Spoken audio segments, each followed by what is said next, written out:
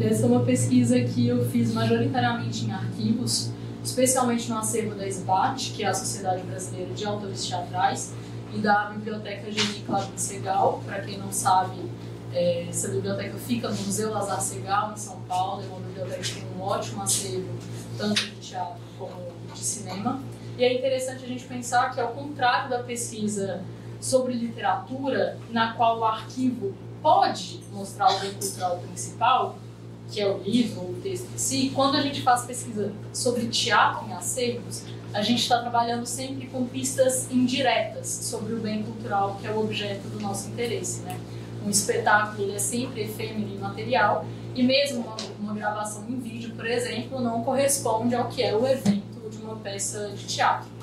É, foi pensando também nessa particularidade do teatro que eu me debrucei sobre os paratextos editoriais e sobre os paratextos teatrais para tentar entender, por um lado, os motivos que levaram à tradução e à montagem desses autores da Francarama e do Dario Fo do Brasil, e por outro, o olhar que guiou as escolhas feitas por diversos agentes dessa mediação cultural, que são os tradutores, os dramaturgos, os diretores, os atores, etc.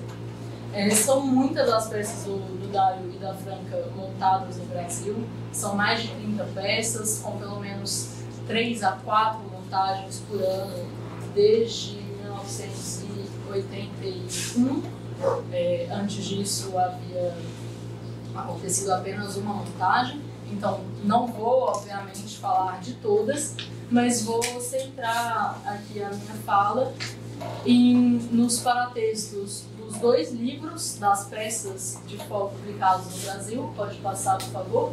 A gente, infelizmente, tem só dois livros com peças do Dado publicados no Brasil. A gente tem outros livros, chamado Ao Mínimo do Ator, por exemplo, que é um livro sobre atuação, não é uma peça de teatro. A gente tem alguns romances do Dorival traduzidos para o português de Portugal e vendidos no Brasil, mas de peça de teatro a gente tem só Morte Acidental de um Anarquista e outras histórias subversivas, que tem Morte Acidental de um Anarquista, o Primeiro Milagre do Jesus e História da Tigresa, que foi publicado em 86, escrito 85, está errado, em 86 pelo Brasiliense, com tradução da Maria Bethânia Amoroso, e em 2016, Mister Obufo, com tradução da Neide Veneziano. E isso por si só já diz muito sobre o sucesso do Dario Fó no Brasil, que não chega na publicação, não chega no mercado editorial. Ele tem muito sucesso no campo teatral. Na década de 1980, ele é um dos três dramaturgos mais montados na cidade de São Paulo, junto com Beckett e com Brecht mas no mercado editorial ele é um semi-desconhecido. Existe, além desses textos, existe mais um monólogo que está publicado numa antologia e alguma, algumas traduções em textos acadêmicos. Então tem uma, uma dissertação que é, é tradução que chama A Mãe Desbundada, que é uma tradução de La Mama Fiquetona, e a minha dissertação na qual eu traduzi Tutacava Letequeza. Acabou. É isso que a gente tem de publicação. Se a gente quer ver os textos teatrais, a gente precisa ir para os acervos. Pode passar, por favor? E aqui eu vou comentar as peças que tiveram maior sucesso na década de 80, maior sucesso tanto de público como de crítica. Todas essas três peças tiveram bastante sucesso de público e de crítica, que são Morte Acidental de um Anarquista, com tradução presumida de Helder Costa, eu já falo a respeito, direção de Antônio Bujanra, que foi encenado em São Paulo em 82, Pegue e Não Pague, com tradução de Regina Viana e Maria Antonieta Cherry, com direção de Gianfrancesco Guarnieri, que estreou em São Paulo em 1981, e Brincando em Cima daquilo, com direção, com tradução de Roberto Vignati e Michele Piccoli, e direção do Vignati, que estreou no Rio de Janeiro em 1984. Então, vou comentar só esses paratextos. É, e eu faço um paralelo entre os paratextos é, teatrais, os paratextos que estão principalmente nos programas, e os prólogos do teatro da Franca e do Dario Os prólogos eram fundamentais para o teatro desses dramaturgos, porque é nos prólogos que os atores instauram uma relação com o público, despertam o interesse do espectador e estabelecem uma relação de cooperação com ele. Em um teatro que se pretende didático, como o teatro deles, a importância desse momento não deve ser subestimada. Muitas vezes, os prólogos de Dário de Franca contêm aulas de história, análises sociológicas, manifestos políticos e poéticos valiosos. Muitas vezes, como é o caso de alguns episódios do próprio Mistério Búfalo ou de a descoberta da América, o prólogo é também o único momento representado em italiano, portanto fundamental para entender a dinâmica culturais a seguir, de um espetáculo que é inteiro em dialeto ou em gromelô ou em uma mistura de dialetos, e em outras vezes, como é o caso de Lo Stupro ou de Morte Accidental e Anárquico, é no prólogo que a relação da peça com a realidade sociopolítica do momento e do local de apresentação é explicitada. E aí o que acontece quando essas peças são traduzidas para o português brasileiro é que elas são peças longas, então elas são sempre resumidas. Isso não é uma exclusividade do Brasil, na verdade isso acontece no mundo inteiro. A média de duração de uma peça do Dario Fo nessa época é de três horas, e isso já era muito para o público brasileiro nos anos 80. Essa é uma, uma coisa que vai aparecer, inclusive, nas críticas, quando as peças são mantidas na sua duração original. Então, as peças são cortadas, isso não é em si um problema de tradução, um defeito, é uma adaptação que precisa ser feita ao sistema cultural local. O que acontece é que muitas vezes o prólogo é, é cortado para encurtar essas peças.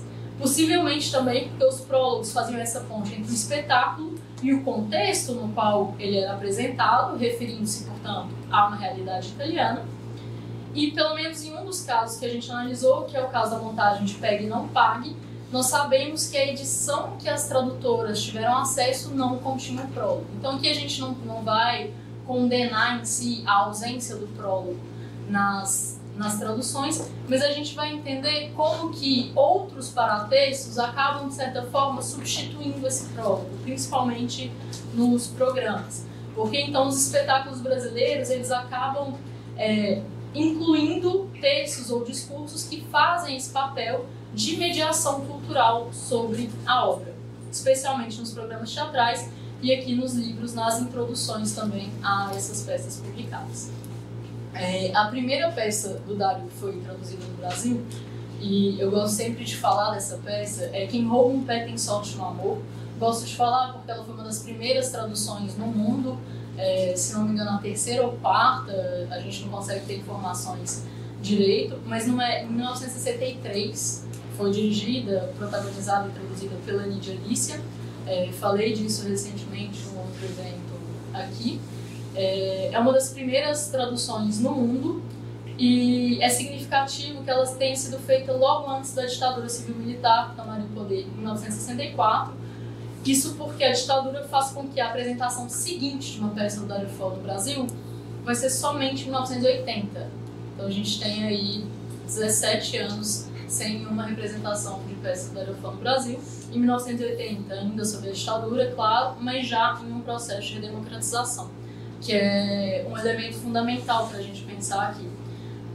Em 1980, a gente tem uma montagem é, de um grupo português, o Grupo A Barraca, dirigido justamente por Helder Costa, que faz uma adaptação de Morte Acidental de um anarquista chamada Preto no Branco, em São Paulo. Em 1980 ainda, esse próprio Helder Costa dirige o grupo Teatro dos Quatro, numa montagem carioca do mesmo, do mesmo texto. A tradução usada em ambas as montagens foi feita por Costa sendo que na segunda houve uma revisão e adaptação de Paulo Mamed. Aqui eu coloco, pode, vou deixar, eu coloco Helder Costa como ponto de interrogação, porque no acervo da SBAT estão presentes as duas traduções, é, essa segunda da representação no Rio, com o nome do tradutor, a, a tradução está acreditada exclusivamente ao Paulo Mamed, mas quando a gente compara as duas, elas são praticamente iguais. Então, se a primeira de fato é de Helder Costa, a segunda é de Alder Costa também, com uma adaptação, um retoque, uma revisão do Paulo Mamet. É, mas isso, nesse momento, não nos interessa tanto. E nós acreditamos que essa tradução tenha sido usada também na montagem, que é a montagem mais famosa da peça, e pode passar, por favor, que é a montagem de 1982, dirigida por Antônio Abujamra e com a atuação do Antônio Fagundes, que estreou no Teatro Brasileiro de Comédia, o TBC. Acredito que tenha sido a mesma tradução, porque em alguns trechos que eu consegui encontrar no texto corresponde e não existe crédito ao tradutor em nenhum dos programas da peça, em nenhuma das críticas que eu encontrei, em nenhum outro lugar. Considerando que o SBAT fazia esse papel de mediação cultural, gestão de direitos autorais, etc., é improvável que houvesse uma terceira tradução. Enfim, é, é, existem algumas questões curiosas sobre essa, essa montagem. Antes da estreia, por exemplo, o Antônio, o Antônio Fagundes contou que ele ganhava dinheiro na televisão e perdia dinheiro no teatro, porque ele usava o salário da Globo para financiar suas peças. E aí, um ano depois da estreia, tamanho foi o sucesso que o Antônio Abujanra escreveu uma carta a Darifó com os seguintes dizeres. Pode passar, por favor? É, sei que tá difícil de ler, mas eu gosto muito de trabalhar com essa materialidade, então eu vou citar o que for do nosso interesse. Acho bom apresentar para vocês que esses são os documentos aos quais a gente tem acesso nos acervos e nos arquivos. E o Abu Janra, dentre outras coisas nessa carta, ele diz o seguinte, e aqui eu cito, nós temos o Teatro Brasileiro de Comédia, um bom teatro. Temos não, alugamos, o prédio não é nosso. E depois de três anos de fracasso, íamos entregar o teatro. E fizemos a sua peça, A Morte Acidental do Anarquista e não entregamos o teatro, pois foi o maior sucesso de São Paulo. Esta carta e esse material é para dizer que estamos contentes e agradecidos por você ter salvo o nosso teatro. Pode passar? Pode passar. É, depois ele vai, é, ele diz ainda que espera que a SBAT tenha repassado os valores dos direitos autorais que foram religiosamente pagos e pede que Dário confirme o recebimento, pois, aqui eu cito, é bastante. Ou seja, uma peça que ganhou dinheiro, né? É, era possível viver de teatro nessa época. E os números dessa peça eles são de fato impressionantes. Ela ficou 18 meses em cartaz em São Paulo, fez uma turnê de 8 meses pelo Brasil e foi vista por cerca de 700 mil espectadores. O sucesso de público é também sucesso de crítica, a montagem recebe elogios entusiasmados de diversos críticos teatrais brasileiros, inclusive de Sábado Magaldi. Pelo que se lê nessas críticas, a montagem brasileira parecia não contar com um prólogo, mas havia diversos momentos construídos de forma improvisada ao longo das apresentações que tratavam diretamente da realidade política brasileira, num procedimento criativo muito parecido com aquele de fora. Embora ausente na representação, é interessante a escolha de publicar a tradução do prólogo italiano no programa da peça, assim como outros textos que ajudam a delinear o quadro sociopolítico de estreia do espetáculo italiano e a delinear a sua recepção. Pode passar? Aqui a gente tem o programa da peça, não sei se vocês já viram o programa de peça teatral longo dos anos 80, mas era uma coisa que tinha ali umas 20 páginas, com ilustrações, textos críticos, etc. E o que a gente vê é que muitas vezes o que falta de apresentação na peça, porque o prólogo foi cortado, porque outros momentos foram cortados, nos anos 80 vai estar materializado em textos críticos ou no próprio prólogo traduzido dentro do programa. A gente tem um deslocamento, então. Essa informação já não é mais uma informação que ajuda a construir uma relação na peça, mas é uma informação que está ali caso o espectador queira consultar. É, um dos casos mais interessantes é o caso de Não Se Paga, Não Se Paga. A empreitada de traduzir e montar esse texto no Brasil, pode passar, por favor. É, partiu de Regina Viana, que conta ter conhecido Larifó em 1980, justamente na apresentação do Preto no Branco do grupo português A Barraca. A atriz diz ter ficado fascinada em ter lido outros textos de Fó até chegar Não Se Paga, que decidiu produzir. Ela traduziu a peça junto com Maria Antonieta Cherry e convidou Gianfrancesco Guarnieri para dirigir e fazer o papel de Giovanni, que é o papel principal. Ela mesma fazia parte do elenco, interpretando Antônia, Erson Caio fazia Luigi, Beth Mendes Marguerita e Renato Borg todos os outros personagens.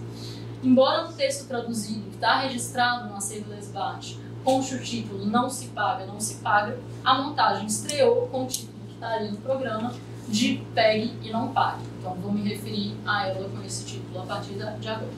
Essa peça estreou em 16 de outubro de 1981, em São Paulo, e ela foi marcada desde a escolha do texto até a recepção, passando pelos processos de tradução e montagem, por uma vontade de dialogar com o movimento político que o Brasil vivia. O fim da ditadura militar ainda não havia chegado, mas o processo de redemocratização estava em curso. O AI-5 foi revogado no fim de 78 a lei da, da anistia promulgada em 79, bipartidarismo extinto no fim de 79, e o país se preparava para, em 82, votar para os cargos legislativos e para o executivo estadual, nas primeiras eleições diretas desde a década de 1960.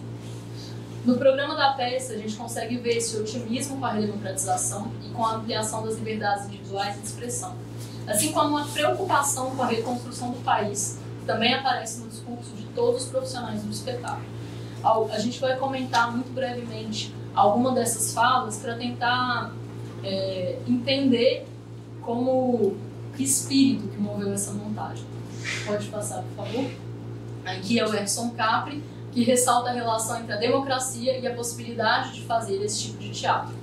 Ele diz, e aqui eu cito, se levarmos em consideração a posição ideológica de tudo que se tem montado em teatro, de tudo que se tem visto em televisão e nos meios de comunicação e lazer em geral, esse radicalismo é um sopro de esperança. Pegue e não pague é um ponto isolado num mar dominado pelo capitalismo. Nessa democracia que dizem estar nascendo, deve haver lugar para o outro lado da moeda.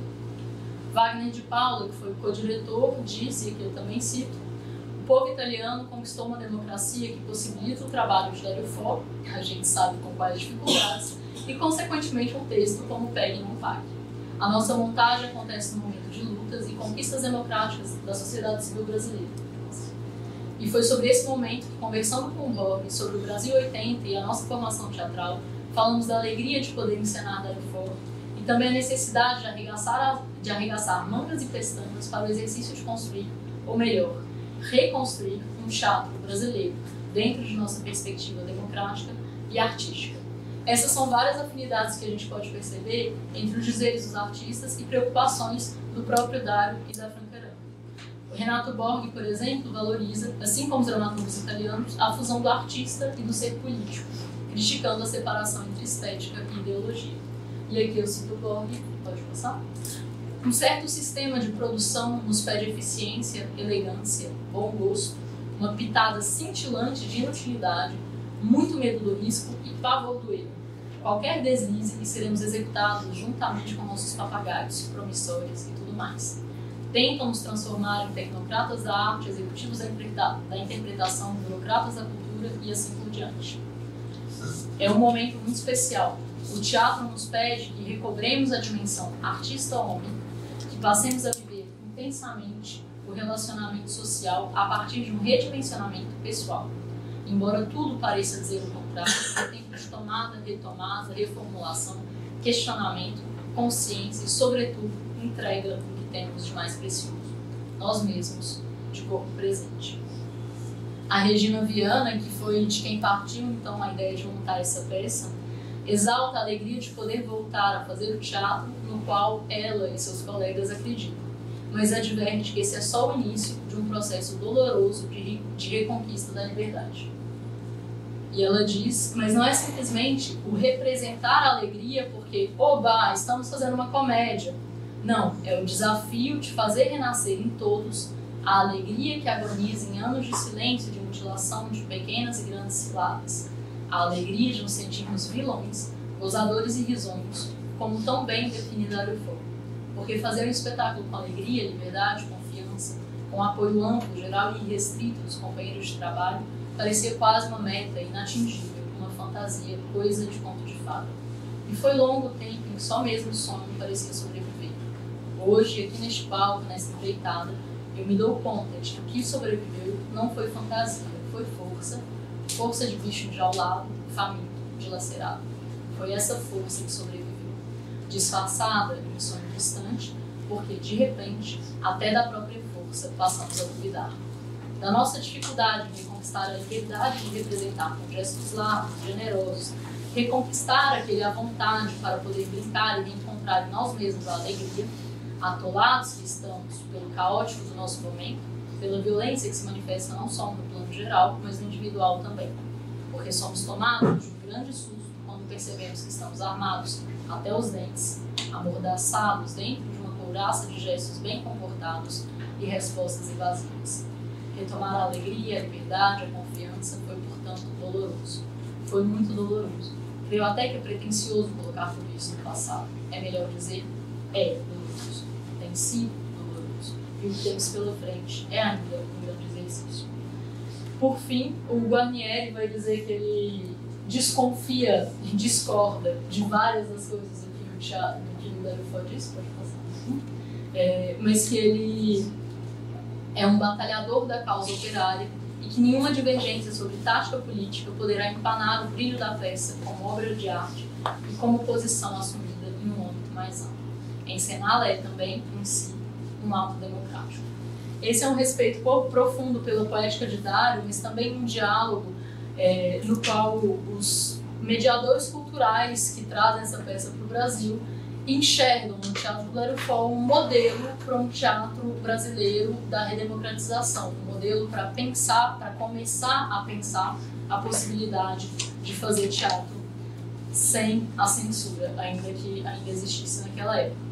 Esse respeito profundo pela poética de Dário, ele se faz presente também na tradução. Trata-se de uma tradução integral, com cortes quase inexistentes muito pontuais, em geral focados em uma ou outra palavra e a manutenção de quase todas as referências a eventos e personalidades ligados ao contexto político italiano ou mundial dos anos 70 e ao pensamento de esquerda. Isso é assim difícil, inclusive, para brasileiro, porque são muitas as referências e referências que estavam já atrasadas em mais de uma década. É, o espetáculo só não contava com o prólogo, mas ele foi sendo cortado ao longo do tempo num procedimento, que é um procedimento muito afim ao teatro do Dário e da Franca também, que é o procedimento de teste na cena. Então a peça estreou com três horas de duração e no fim da primeira temporada ela tinha uma hora e vinte, porque os atores foram testando e percebendo enquanto atuavam o que, que funcionava, o que, que não funcionava e a partir daí foram cortando. É, a gente percebe como que esse prólogo inexistente, aqui, mais do que em qualquer outro dos casos que a gente vai analisar, ele é substitu substituído por um programa que é um programa extremamente crítico, complexo, no qual todos os mediadores culturais tomam a palavra e dizem o que significa para eles montar essa peça. Tem também textos sobre o Teatro Jarifó, uma nota bibliográfica sobre o Dario Fo, alguns textos críticos que saíram na Itália sobre a representação dessa peça, enfim.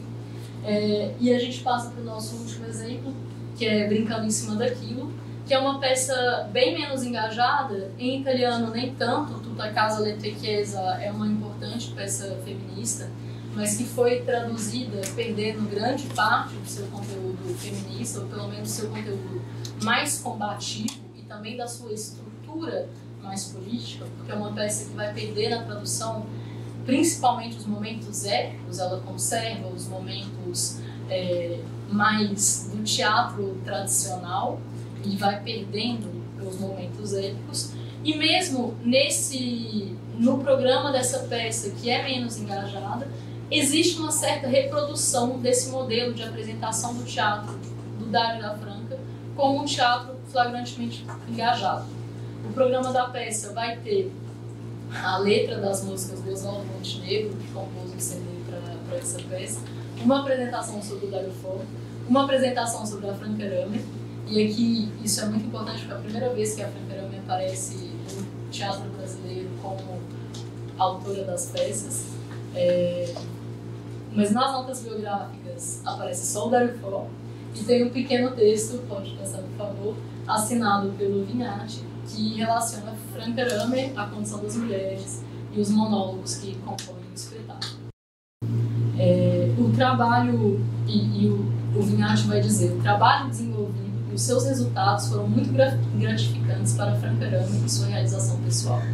Apesar de, durante muitos anos, trabalhar e intervir com Dario Fo em múltiplos espetáculos, a opinião pública, impregnada da ideologia dominante, dos valores masculinos, tendia a considerá-la apenas um apêndice indispensável ao teatro de Darufo.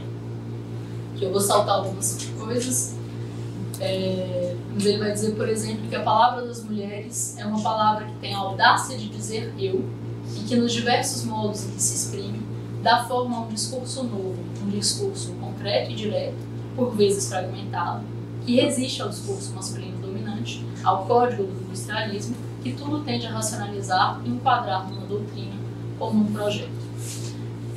Aqui, por mais que eu tenha coisas a comentar sobre esse texto, eu vou deixar para outro momento. É, mas eu acho interessante que mesmo nas peças em que a gente perde carga política, a gente continua tendo um programa com a função de fazer essa mediação crítica e de ressaltar tanto o lado político como o lado cômico do teatro do Dario Fo e da Franca E a gente já retoma essa questão e passa muito brevemente aos paratextos editoriais, que são, na verdade, muito exíguos. Exíguas são as publicações, mais exíguos ainda os paratextos. Essa é primeira publicação, de 86, é, foi uma tradução feita pelo Maria Betânia Amoroso, que comenta na introdução que ia ao teatro sempre com pouquíssima empolgação, até que ela foi convidada, quando estava em Roma, em 1984, a assistir o Dario Fo apresentando o Morte Acidental de um Anarquista. Ficou completamente impressionada e o que ela diz é... Ah, não coloquei para vocês a, a citação, mas vou citar brevemente. Acho que o que me cativou em definitivo foi o humor cáustico, eu diria muito italiano, beirando o escatológico. Mas as peças são políticas. E como? Dentro delas se encontra a Itália dos anos quentes, a Itália da briga contra o Estado, a imaginação do poder, das rádios piratas, dos coletivos. As instituições, polícia, igreja, partidos, etc., são arrasadas com o humor radical. E que é muito peculiar porque a Maria Bethânia Amoroso não comenta nada do teatro brasileiro. E a gente está em 1986. A gente já teve pelo menos quatro montagens de peças da Arufó que foi um sucesso absoluto de crítica. A única menção às peças brasileiras vai aparecer na quarta capa mas na introdução nada aparece. A Maria Bethânia Amoroso cita a importância dos prólogos no teatro do Dario Fo na sua introdução, mas ela pula o prólogo de todas as peças que ela traduz, não sei se por escolha própria ou se por é, um pedido da editora que queria enxugar o livro, é possível, mas a gente não tem os prólogos, embora a gente tenha numa introdução que tem duas páginas e meia um trecho que fala da importância dos prólogos no teatro do Aerofone. E aí é só, pode passar, por favor. É, isso, a, a, despeito da crítica dizer que havia uma fomania no Brasil em 1987. Então ela não cita nenhuma das montagens brasileiras, sendo que nos jornais se falava o tempo todo de Dario É muito impressionante como aqui mercado editorial e cena cultural do teatro não dialogam aparentemente. E aí é só com a tradução da Neide Veneziano, que saiu em 2016, a tradução do Mistério Bufo, que também não é uma tradução completa do Mistério Bufo. Então a gente está 53 anos depois da primeira montagem do Darionfalo Brasil, é que a gente vai ter um texto crítico com paratexto de uma tradução do Darionfalo e é só aqui que a gente vai ter os primeiros prólogos das peças do Ariofó traduzidas. Então a gente precisa esperar 53 anos de Ariofó no Brasil para a gente ter um prólogo traduzido e publicado. É, nos textos críticos desse livro, que são também curtos, a Neide Veneziano vai comentar textos que são temas que são particularmente pertinentes a Mistério Bufo, menos aos textos cujas montagens tiveram mais sucesso no Brasil como ela vai comentar em especial a relação do Dario-Fo com jornais medievais e a própria noção de mistérios. Ainda assim, é, há trechos em que ela reforça tanto o conteúdo político como a questão cômica, que são fundamentais para a obra do italiano, e ela também ressalta no seu texto a importância dos próprios. É, o que a gente consegue perceber então é que nos para, a gente tem para textos teatrais que nos anos 80 praticamente substituem os prólogos das peças, que têm nos primeiros anos uma necessidade, cumprem com uma necessidade de apresentar o Darufão no Brasil, de apresentar esse autor novo que chega com força dos anos 80 e que que estabelecer também um diálogo, um diálogo que parte de um alinhamento político e de um entendimento do Dario como um modelo para o teatro brasileiro da redemocratização. Então, uma necessidade de dialogar mas também de se posicionar em relação à própria realidade. Já nos paratextos editoriais, a gente tem paratextos curtos que ignoram a vida das peças no Brasil, mesmo quando a peça é um grande sucesso, e é o caso de Morte Acidental, e é peculiar no caso dos paratextos da rede veneziana que ela mesma não menciona as, as montagens de Mistério Bufo no Brasil, sendo que ela foi a tradutora da grande montagem de 2012 do grupo La Mínima de São Paulo, é, que fez muito sucesso também. Então ela mesma não menciona a própria montagem para qual ela traduziu. Essa foi uma tradução encomendada. É, e o que tem de interessante nessa questão dos paratextos, além do fato de eles atuarem como mediadores culturais, que o que a gente tem acesso quando vai montar uma peça de Darifó, é o que está no acervo da SBAT, da Sociedade Brasileira de Autores Teatrais. Ou seja, a gente tem acesso a traduções sem um texto crítico, que não fazem essa ponte cultural. E o que acontece é que além da gente perder esse elemento, que é um elemento relacional com o público, a gente perde também uma aproximação, possibilidade de uma aproximação crítica ao contexto de produção e à própria poética do Dario e da Franca Arame. Então a gente tem, depois dos anos 80, quando o teatro vai parando de produzir programas, ou vai produzindo programas cada vez mais curtos, com cada vez menos crítica, o que a gente costuma ter são montagens que têm uma dramaturgia, e aqui eu entendo dramaturgia como uma articulação entre estética e ideologia, que não é apenas diferente da dramaturgia do Dario Fo e da Franca Arame, mas a gente tem peças que têm dramaturgias que chegam a ser opostas. Um exemplo, pode passar, por favor? De novo.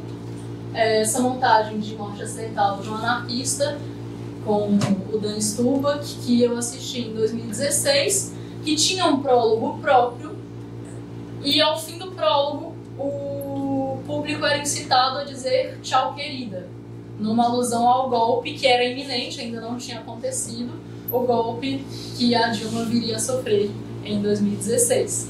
Sim. E em 2017 a gente tem uma montagem de Brincando em Cima daquilo, que é pela, com o ator Wilson de Santos interpretando todas as personagens femininas. Ele tem orgulho de dizer que ele é o primeiro homem do mundo a ter autorização para montar essas peças, provavelmente porque foi o primeiro a pedir e porque pediu depois que a Franca e depois que o Dário tinham morrido.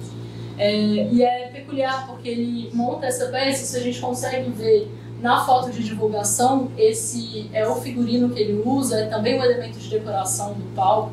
Se vocês procurarem, tem alguns vídeos no YouTube, dá pra ver tudo, na interpretação dele, na música escolhida, no cenário, no figurino, que ele interpreta todas as personagens num tom paródico, que é exatamente o contrário do programa estético ideológico do Dario Fo e da Franca Arame. O Fo, inclusive, afirma em uma entrevista, e aqui eu cito, o grotesco e o satírico, nunca a paródia, que limita o valor e o peso das coisas. O grotesco, por um lado, se desenvolve através da tragédia. Quando você pega os fatos trágicos e os tra transpõe no grotesco, os coloca de frente para o paradoxo, para a torção do absurdo. É aí que você obtém algo de válido, algo que faça com que as pessoas pensem além de rir. Então a gente vê que com a falta desses paratextos que possam continuar a fazer essa mediação, a gente começa a ver um uso da dramaturgia para produzir um uso do texto teatral para produzir, produzir dramaturgias que, se, que são praticamente opostas à dramaturgia, ao pensamento estético e ideológico do